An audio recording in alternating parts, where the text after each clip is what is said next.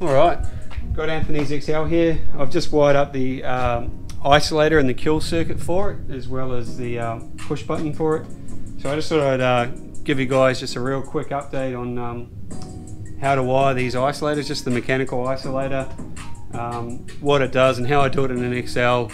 Uh, it's the same principle for any car. Um, there's no fancy wiring. You don't need to be a, you know, an electrical engineer to do it. So uh, just figured everyone asked me the same question. I'd show it on a car that's halfway through being built.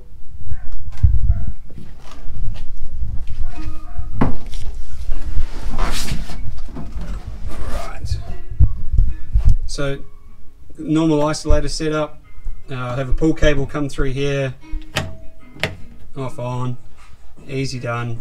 Uh, extra switches, you push button start, uh, blower for your demister, rain light, super easy. So pulling this away. Right. Hopefully you can see this easy enough. Um, the wiring for the ignition side of it, we used the factory Excel wiring um, to cut that off the ignition barrel. Basically the constant comes into the switch, your accessory and on come out um, and go back. And then you also have a, a, hot feed into your starter button and then you have your two come out. I can post about this if you just ask. Pretty easy. Also, also a little earth on this just to um, make the light work basically on it. Now over the isolator um, really easy. Got one wire in from the battery so it's battery cable one wire out, I go to the starter motor on an Excel and then from the starter motor up to the factory fuse box.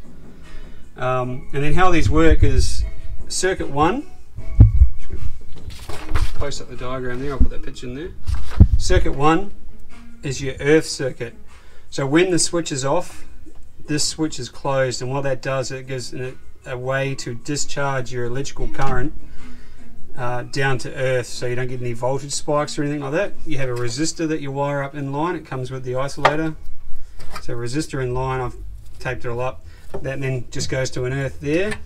And on the other side of it, I just have a wire looped around to the positive on the load side of the switch. So I, the one that goes to your starter mode, not the one to go to your battery. A couple of guys have done that and they've learned pretty quickly that you just burn all this wire out. So don't do that. So it's got to be to the load side, so the non-hot side of the switch. Now circuit 2, when the switch is off, this is open. When the switch is on, this is closed, which bridges these contacts.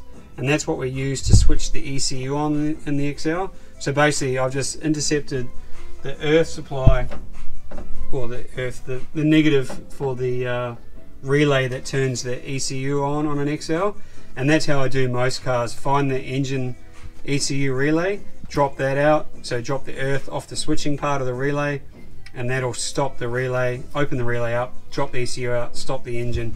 So that effectively does the kill side of the switch which is which is what you want. Some people do it to coils if they've got an older style car or to a fuel pump.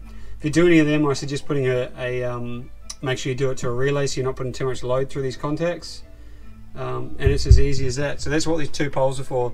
Normally uh, when the switch is off this one's closed um, basically earthing out the hot side of the circuit. Um, and when the switch is on uh, this one's opens up and these ones close which gives you your uh, power supply to your relay free ECU or whatever you want to do. So really easy. Um, I also find it really, really important to make sure you put these rubber boots on anywhere you got these big electrical cables. Just because when you're working in here, if you manage to hit that with a screwdriver, or some of the cars have got more steel work in here, you earth that out, you know all about it, putting this in and out. Um, you know, they're quite close on the sides. It's just saves you drama.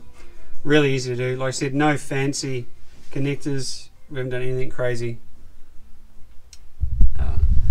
So yeah, any questions, just ask. Happy to help out. Uh, I've done man tons of these now and haven't had any dramas. So cheers.